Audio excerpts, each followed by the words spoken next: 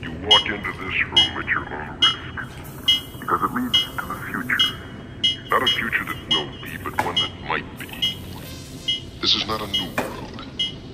It is simply an extension of what began in the old one.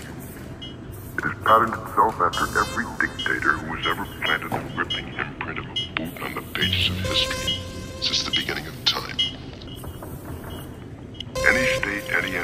ideology that fails to recognize the worth, the dignity, the rights of man, that state is obsolete.